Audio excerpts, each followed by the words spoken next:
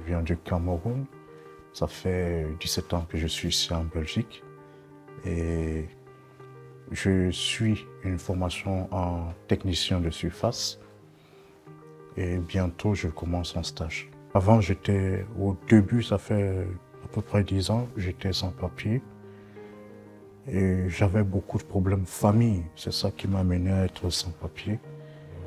Beaucoup. J'en souffrais, oui, parce que euh, je n'avais pas encore les informations pour euh, comment vivre ici en Belgique et, j'étais trop isolé, j'étais constamment seul. Des fois, euh, tu vas, par exemple, j'allais à la gare du Midi, on a des, bon, on compatriotes africains, tu peux demander quelque chose, des choses comme ça.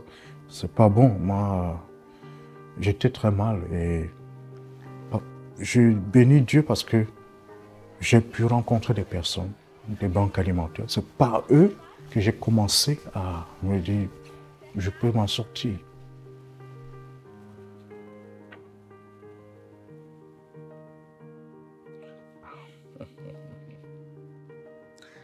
Un moment qui vous a rendu complètement heureux. Pour ça, je pourrais dire Madame Janine, avec la banque alimentaire. Et voilà. Pour elle, elle est comme une maman pour moi. Et j'ai beaucoup d'affection pour elle. Quoi. Je suis quelqu'un, je...